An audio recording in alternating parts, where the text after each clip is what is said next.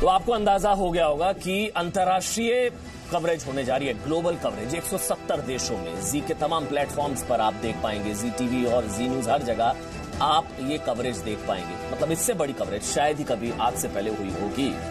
वैसे पूर्व राष्ट्रपति प्रणब मुखर्जी ने ईवीएम से कथित छेड़छाड़ की रिपोर्ट्स पर चिंता ज़ाहिर कर दी। वहीं राष्ट्रीय लोक समता पार्टी आरएलएसपी के अध्यक्ष उपेंद्र कुशवाहा ने धमकी देते हुए कहा कि ईवीएम के ज़रिए चुनाव प्रभावित करने की कोशिश होगी। तो सड़कों पर खून बह सकता है। हथियार उठा सकते हैं। कल ईवीएम को लेकर 22 विपक्षी दलों ने के नेता चुनाव आयोग से मिले। हालाँकि चुनाव आयोग ने विपक्ष की आशंकाओं को निराधार बताया। इसके बावजूद आज आयोग इसी मुद्दे पर बैठक भी करने वाला है। कुल मिलाकर चुनाव नतीजों के पहले ईवीएम का जिन्न एक बार फिर जाग उठा है। इस मुद्दे पर आज बहस करेंगे। पहला सवाल ये रहने वाला है कि जनादेश शुद्ध है, फिर ईवीएम पर क्यों युद्ध है? सवाल नंबर दो। ईवीएम के बहाने हार का डर छिपा रहा है विपक्ष। चुनाव आयोग के भरोसे पर विपक्ष को क्या यकीन नहीं है? जनता के फैसले पर खून खराबे की धमकी आखिर क्यों दी जा रही है? और मुद्दों से हारे विपक्ष को अब ईवीएम का सहारा।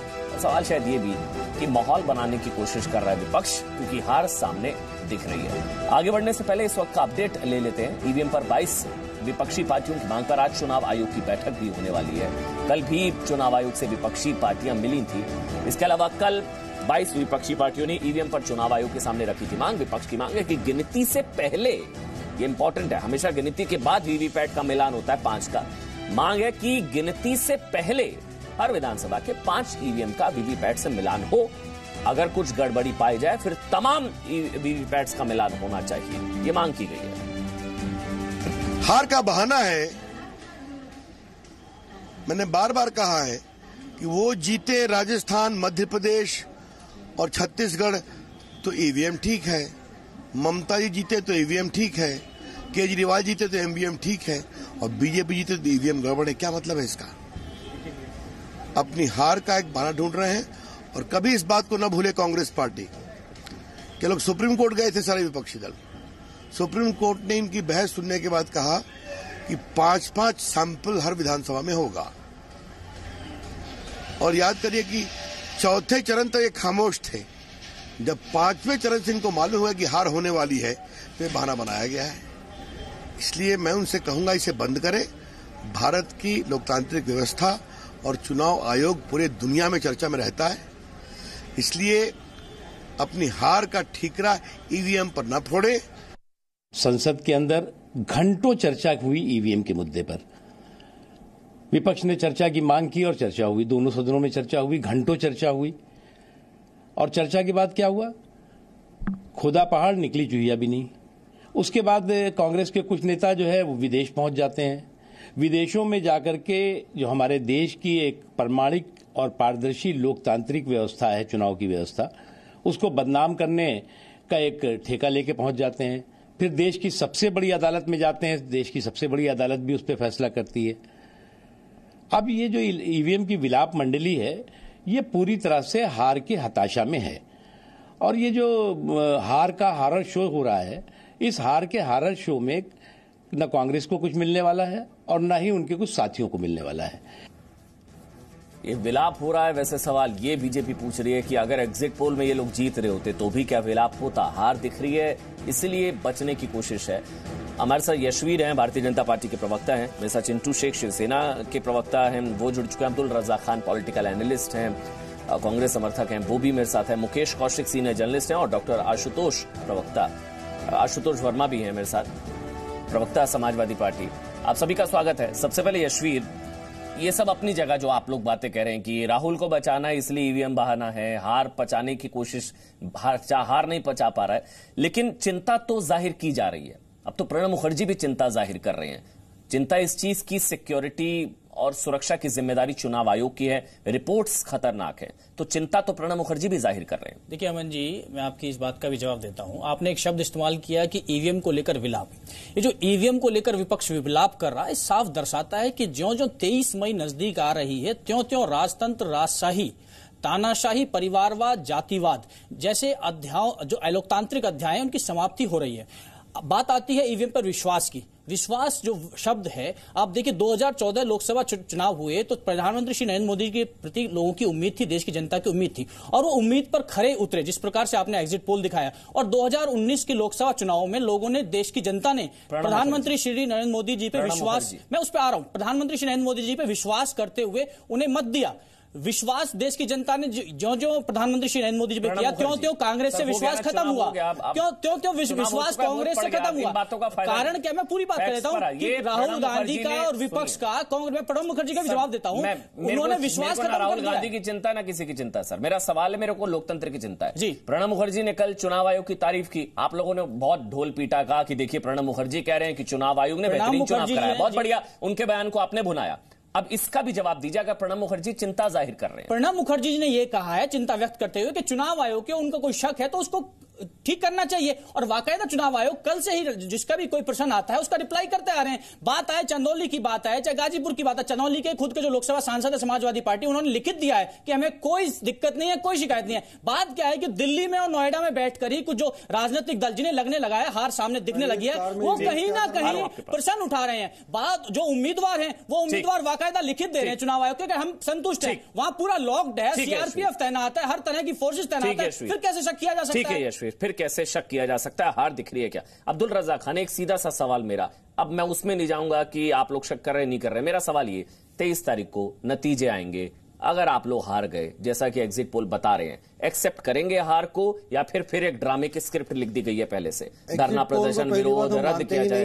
एग्जिट पोल पिछली बार भी गलत निकला उससे पहले भी गलत निकला। पिछली बार तो बहुत कम नंबर्स दिखाए थे लेकिन बीजेपी एनडीए सरकार ने तो कहीं ज़्यादा नंबर्स लेके आई तो एग्जिट पोल्स पर कोई अगर हार गए एक्सेप्ट करेंगे। नहीं है। अगर हार गए एक्सेप्ट करेंगे बात तो मुमकिन ही नहीं है। कैसे इतना कॉन्फिडेंस आ रहा बीजेपी के पास? अगर अगर। तो अगर ईवीएम में आप सेटिंग कुछ नहीं कर सकते तो आपके पास कॉन्फिडेंस कहाँ से आया? देश की जनता ने बीच में नहीं बोलेंगे। अब एक करके बोलेंगे हाँ। देखिए जो अगर हार गए एक्सेप्ट करेंगे। जो स्टूडेंट अगर हार गए एक्सेप्ट करेंगे। नहीं पढ़ा था वही मंदिर में पाया गया रिज़ल्ट के दिन। तो हमने देखा कौन मंदिर में सर तो अगर हार गए एक्सेप्ट करेंगे। आप भी कैसे बोल सकते हैं कि अगर हार गए? अगर अगर अगर ये साइकोलॉजिकल बात नहीं है। हम ये कह रहे हैं कि ईवीएम कार में क्या कर रही हैं? प्राइवेट कार्स में। कौन इसका जिम्मेदार तो है? रिज़र्व कह रहे हैं वो तो रिज़र्व रिज़र्व थे तो इलेक्शन जिस दिन खत्म हुआ उसी दिन उसको अंदर चले जाना था। काउंटिंग तो तक कहाँ कहाँ घूम रही है कार्स में मिल रही है होटल्स में मिल रही है। सवाल टाल रहे हैं। विपक्ष पता है क्या देखिए जब एल के अगर अगर चुनाव सबसे पहले अगर चुनाव अगर चुनाव नतीजे आपके प्रतिकूल रहे एग्जिट पोल के हिसाब से रहे तो क्या आप इस डिफीट इस जनादेश का सम्मान करके इसको स्वीकार करेंगे? बस हाँ राजस्थान मध्य प्रदेश छत्तीसगढ़ जीते तब भी हमने ईवीएम पर बात उठाई थी कि हमारा अंतर और ज़्यादा रहना चाहिए था। ईवीएम पर संदेह है रहेगा। सर। नहीं फंस नहीं रहे मैं अगर दोबारा से पूछ रहा हूँ अगर जनादेश आपके खिलाफ गया प्रतिकूल गया एग्जिट पोल के हिसाब से नतीजे रहे तो क्या जनता के जनादेश को सहर्ष स्वीकार करेंगे आप लोग? हाँ या ना? आप बताइए एग्जिट पोल में एक न्यूज़ एक्स का सर्वे देखिए आप नीलसन का इतना सिंपल क्वेश्चन है सर इतना एक सौ अड़सठ सीटों का अंतर है। इप्सोस में और न्यूज़ एक्स में। तो कौन से नतीजे हम मान लें? सर सारी मतलब आप नहीं मानेंगे ना। फिर रिज़ल्ट का इंतज़ार मत करिए। तो जब रिज़ल्ट ही नहीं मान रहे तो रिज़ल्ट का इंतज़ार मत करिए। फिर ये तेईस मई मत करिए आप। लोग भूल जाइए सर देखिए लवासा जी बाहर आपको लोकतंत्र पर विश्वास नहीं चुनाव आयोग पर विश्वास नहीं अरे आप वेस्ट बंगाल में सेक्शन इन्वोक करते डॉक्टर आशुतोष। डॉक्टर आशुतोष। वक्त देते ठीक है सर। डॉक्टर आशुतोष आपसे भी वही मेरा सवाल। अगर जनादेश आपके खिलाफ जाता है तो क्या आप उस जनादेश को सहर्ष स्वीकार करेंगे, सम्मान करेंगे, या फिर वही सब होगा, हथियार उठाएँगे, सड़कों पर आएँगे, खून खराबा होगा, या चुनावों को रद्द किया जाए, धरना प्रदर्शन, ड्रामा नौटंकी होगी? या कहेंगे, जो जनता का जनादेश, हमारे खिलाफ हम स्वीकार करते हैं। क्या करेंगे, सर? बिल्कुल अमर जी, बिल्कुल सीधी बात पे आते हैं। देश में आज सत्ता, सन सत्तावन से लेकर आज तक जितने भी चुनाव आए हैं और जितने भी चुनाव हुए हैं और उसके रिज़ल्ट आए हैं, उसको राजनीतिक पार्टियों को मानना ही पड़ेगा क्योंकि ये जनता का जनादेश है वो हमारे फेवर में आए, या हमारे अगेंस्ट में आए, जनता का हुक्म सराखों पर। क्योंकि हम लोग जनता की नुमाइंदगी करते हैं, हम लोग कहीं भी हिंसा नहीं कर सकते, ये मैं आपके सामने खुले पे खुले चैनल पे आपको स्वीकार करता हूँ। लेकिन क्या सवाल यह है, क्या ये एग्जिट पोल हुए हैं? जो देश को पिछले दो दिनों से सारे टीवी चैनल और मीडिया चैनल दिखा रहे हैं, ये एग्जिट पोल हैं? अमन जी, आपके चैनल के माध्यम से, क्योंकि देश में, विदेश में देखने वाला चैनल है एग्जिट पोल नाम की कोई भी चीज़ इलेक्शन कमीशन ऑफ़ इंडिया 2006 से बैंड कर चुका है। क्यों मीडिया चैनल देश की 130 करोड़ की जनता को गुमराह करते हैं? क्यों साफ़ साफ़ नहीं बोलते हैं? और मैं आपकी दाद देता हूँ कि आपके चैनल ने पोल्स ऑफ़ पोल दिखाया है एग्जिट पोल नहीं दिखाया है। क्यों नहीं दिखाया है? इन मीडिया चैनलों को बताओ कि ये बैंड चीज़ है। ठीक कह रहे हैं डॉक्टर आशुतोष एक चीज़ एक चीज़ बताइए डॉक्टर नहीं ये पोस्ट अगर अगर, मुझे पूरा अगर, दस सेकंड दे दीजिए मुझे पूरा कर दीजिए मैं आपकी जवाब दे चुका चल बोलिए बोलिए सर बोलिए। बोलिए बोलिए। मैंने कहा ये पोस्ट पोल सर्वे है। पोस्ट पोल सर्वे और एग्जिट पोल में ज़मीन आसमान का अंतर होता है। लगातार पोस्ट पोल सर्वेज या एग्जिट पोल जो हो रहे हैं उनमें लगातार सैंपल साइज़ तो बढ़ता जा रहा है लेकिन रिप्रेजेंटेशन ऑफ़ क्वेश्चन जिनसे किया जाता है उसकी क्रेडिबिलिटी कभी भी नहीं हो सकती है।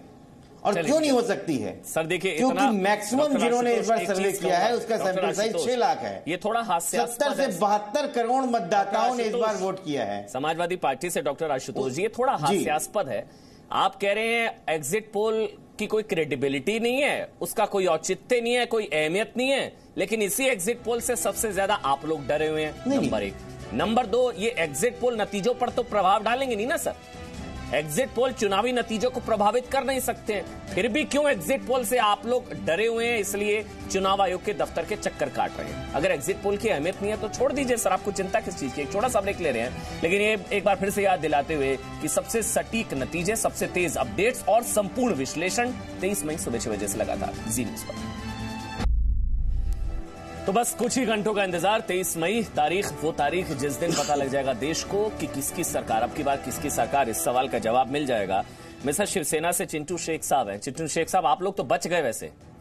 आप तो एनडीए छोड़ने वाले थे। बाल बाल बच गए आप लोग।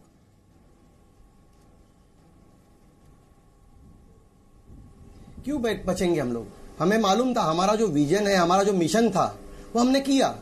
मगर जिस तरीके से अभी ईवीएम पे सवाल उठ रहे हैं उसके ऊपर आरोप हो रहे हैं ईवीएम लाया किसने? आपका विजन याद है? चौकीदार चोर है तो ईवीएम एकदम ठीक है। ये जो राज्यों में आपका विजन याद है सर? चौकीदार चोर है तक बोला था। रफाल पर जेपीसी सुनिए मगर जनता के हित के लिए हमने जो भी आवाज़ उठाई जनता के हित के लिए। तो कह रहा हूँ सर बच गए और कल जो नतीजे आएँगे तो क्या तो पता चल जाएगा मगर जिस तरीके से विपक्ष हम बचने का सवाल ही नहीं आता। हम हमारे बचने का सवाल ही नहीं आता।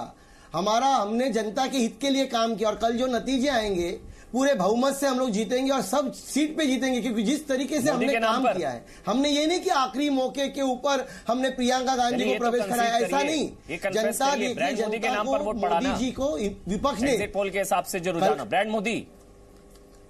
देखिए ब्रांड मोदी बनाया कौन? ब्रांड मोदी बनाया कौन? किस तरीके से इन्होंने प्रचार किया? इतना मोदी मोदी किया कि जनता को में सबसे ज़्यादा मोदी जी का प्रचार विपक्ष ने किया। जिस तरीके से कांग्रेस मोदी मोदी कर रही थी ये प्रचार मोदी जी का कर रहे थे। ये नेगेटिव पब्लिसिटी करने गए हो गया पॉजिटिव और जनता का कल नतीजा आएगा। शिवसेना को वोट नहीं बिल्कुल नहीं पड़ता बिल्कुल नहीं शिवसेना अपने स्टाइल से काम करती है जनता के लिए काम करती है और जितनी भी वोट बैंक शिवसेना की है ये कल चुनाव में मालूम मतलब पड़ जाएगा कल के नतीजों में मालूम पड़ जाएगा। क्योंकि हमने किस तरीके से प्रचार किया हमारा प्रिपरेशन नहीं नहीं हमारा काम ही अलग है। हमारा काम अलग है। माननीय बाला साहब ने पहले ही बता दिया था हमको। हमको हमारी सीख यही कि 80 परसेंट आप समाज कीजिए और बीस का हम जनता के लिए। हमें रह के पार्टी में सरकार में रहकर बचने का सवाल नहीं जनता हमारे साथ है और सबके सब सीट हमारी पहले विपक्ष में जा रहे थे तब जनता कहा जा रही थी सर? जब छोड़ रहे थे नाता सामना में लिखा जा रहा था अमित शाह मान मनोवल कर रहे थे इतनी मीटिंग हो रही थी आपको मनाया जा रहा था तब जनता हम, जन, हम जनता के हित के लिए हम जनता के हित के लिए हम जनता के हित के लिए विपक्ष के पास तो उम्मीदवार ही नहीं था। कोई था ही नहीं जो मुकेश कौशिक मुकेश कौशिक एक छोटा सा देखिए एक पत्रकार होने के नाते मेरा सभी मेरा सभी राजनीतिक दलों से अनुरोध है एक पत्रकार होने के नाते मेरा सभी राजनीतिक दलों से अनुरोध है मैं मार्क करिए मेरा वर्ड। मैं राजनीतिक दल बोल रहा हूँ विपक्षी दल नहीं बोल रहा हूँ क्योंकि विपक्षी दल कल तय होंगे जब तेईस मई का फैसला आएगा कि कौन विपक्ष में होगा कौन सत्ता पक्ष में होगा। इसलिए सभी राजनीतिक दलों को ये सोचना चाहिए कि आज मैं विपक्ष में हूँ कल सत्ता में भी हो सकता हूँ और इस हिसाब से उनको अपनी नीति तय करनी चाहिए। ईवीएम के मुद्दे को इनका लगातार पटाक्षेप कर देना चाहिए क्योंकि इन्हीं ईवीएम के बल पर ये लोग सत्ता में भी आए हैं और सत्ता से बाहर भी हुए हैं। ईवीएम हम्म। हैक नहीं हो सकती।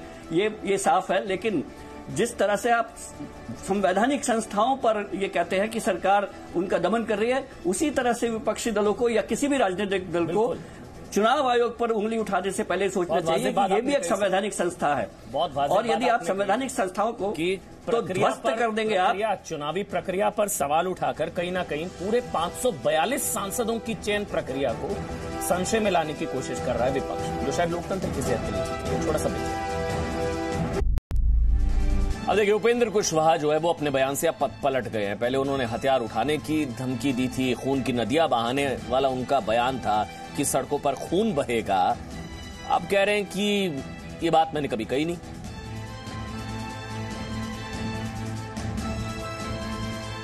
पहले बूथ लूटने की बात होती थी, अब रिज़ल्ट लूटने की बात होती है, उपेंद्र कुशवाहा ने कहा।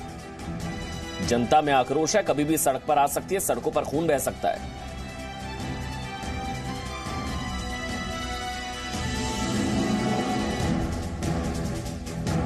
अब्दुल रजा खान, हथियार उठाने हथियार तो नहीं उठा लेगा विपक्ष, सड़कों पर खून तो नहीं बहा देगा विपक्ष तेईस तारीख को। ये लोकतंत्र का खून बहाएगा मेरे ख्याल से। अमन जी, अभी भी काउंटिंग होना बाकी है। देखिए, इससे पहले अगर ईवीएम में छेड़छाड़ नहीं हुई है, कहीं ना कहीं हमको जो संदेह है, अगर वो नहीं हुआ है तो इतना मनोबल बीजेपी के पास आ कहाँ से रहा है?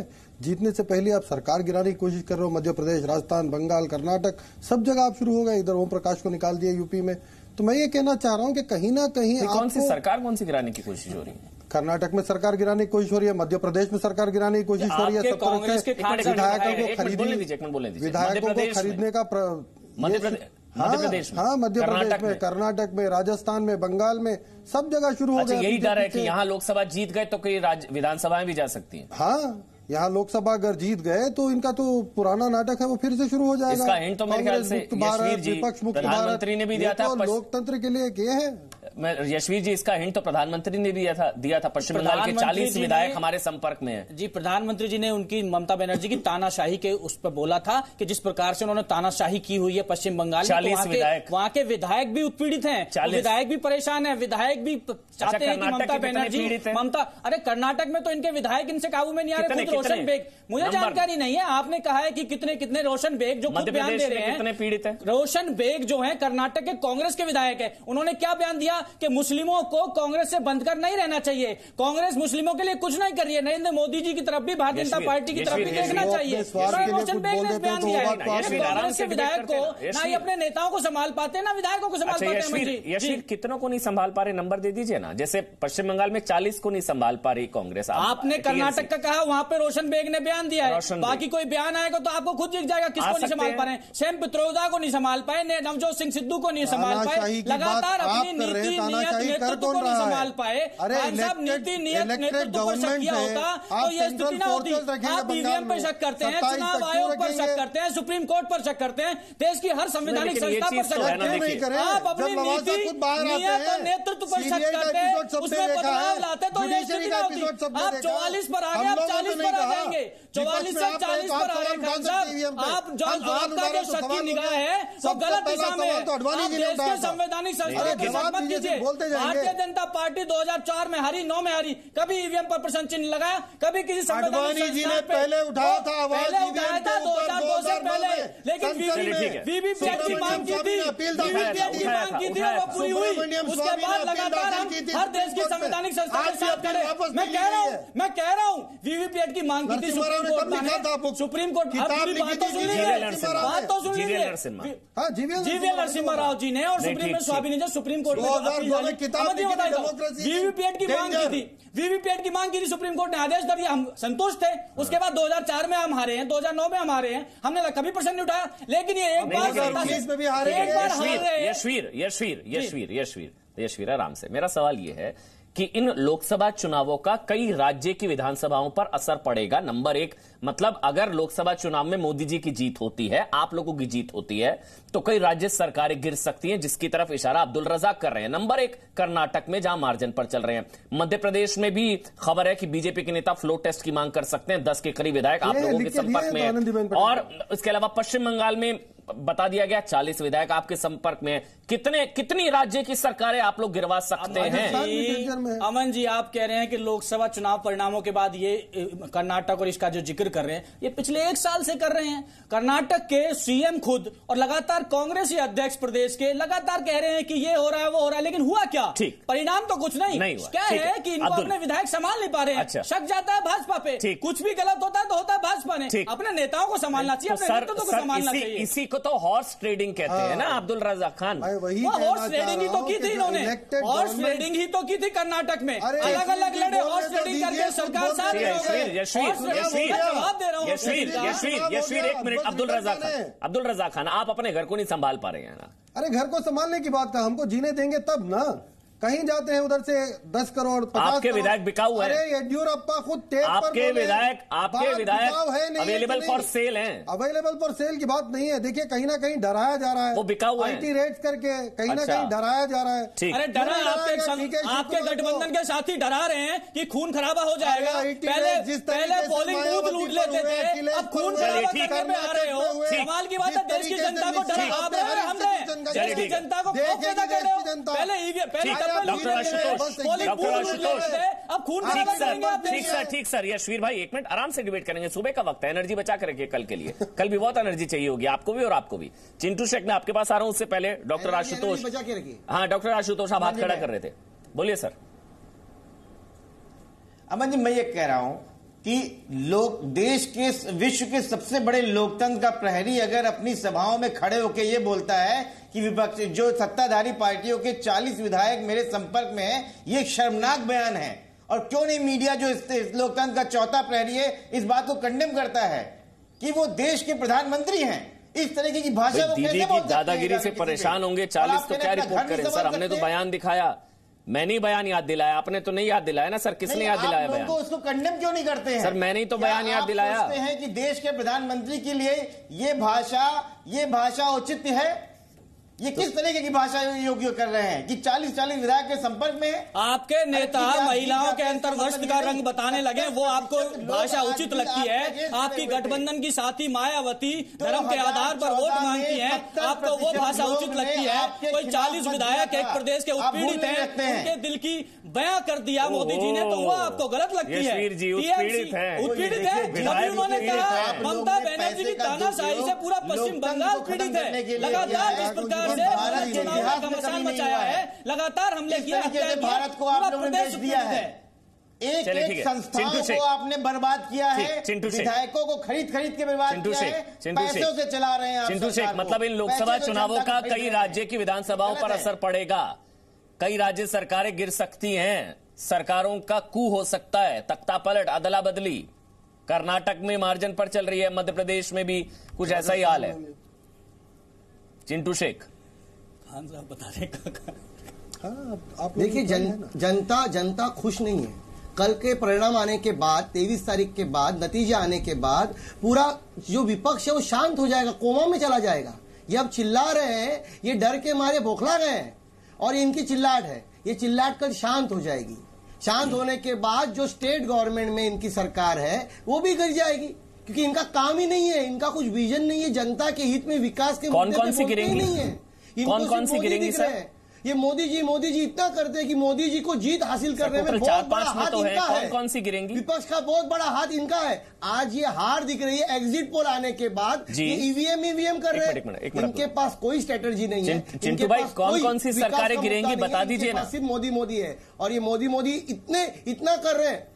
कौन कौन सी गिरेंगी सरकार? बता दीजिए ना। सब गिर जाएँगी जनता इनसे खुश नहीं है। कर्नाटक मध्य प्रदेश छत्तीसगढ़ राजस्थान पंजाब। मालूम पड़ जाएगा। नतीजे आने के बाद सर बड़े बड़े अहंकारी नेता गिर गए सर। आज आप अभी भी रिज़ल्ट नहीं आया इतना अहंकार ठीक नहीं है सर। कोमा में चले जाएँगे। चिंटू शेख जी हॉस्पिटल में एडमिट करना अहंकार ठीक नहीं है। इनको एनर्जी बड़े बड़े नेता गिरे हैं अहंकार में। आपको कल सर इतना अहंकार ठीक नहीं है। हमने देखा जिस तरीके से आपने कॉम्प्रोमाइज किया बीजेपी के साथ हमको हमारी बीजेपी के साथ मिलने ही तैयार नहीं थे। पे भरोसा है ना जनता पे आप भी तो कांग्रेस के साथ मिलकर चौकीदारी पर बात कर रहे थे। आपके पास खुद के पास उम्मीदवार नहीं थे महाराष्ट्र के हाल देखिए महाराष्ट्र के पास हाल देखिए।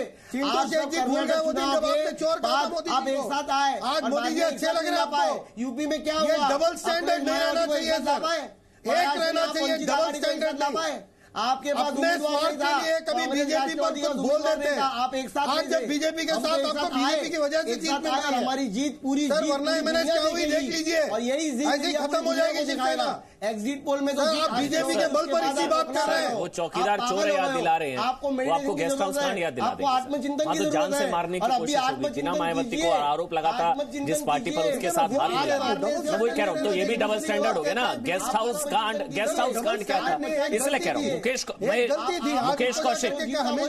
ठीक ठीक ठीक मुकेश कौशिक अच्छा जान से मारने की कोशिश माफ़ कर दिया। बहुत बढ़िया। ये जान पर बन दिया तो जान से मारने की कोशिश भी माफ़ होती है मुकेश कौशिक मुकेश कौशिक। मुकेश कौशिक मुकेश कौशिक। कई राज्य सरकारें भी गिर सकती हैं इस तरह इशारा बार बार दिया नहीं ये विपक्ष की रणनीति है।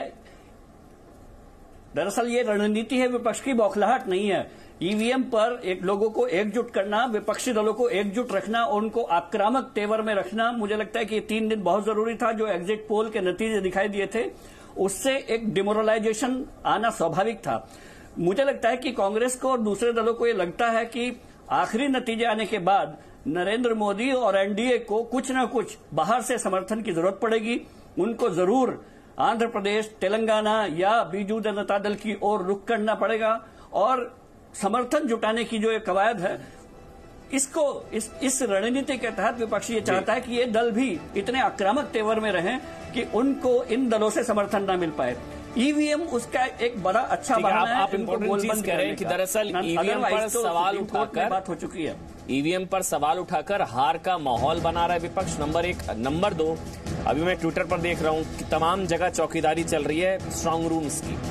चौकीदार चोर है कहा, लेकिन अब पूरा विपक्ष चौकीदार बनकर चौकीदारी कर रहा है, तमाम स्ट्रांग रूम्स की। अब कोई नहीं कहेगा चौकीदार चोर है। थोड़ा सा देख ले रहे हैं बहुत बहुत शुक्रिया आप सबका। तेईस मई, सुबह छह बजे से लगातार सबसे तेज नतीजे, सबसे सटीक नतीजे, तेज अपडेट्स और संपूर्ण विश्लेषण सुबह छह बजे से लगातार।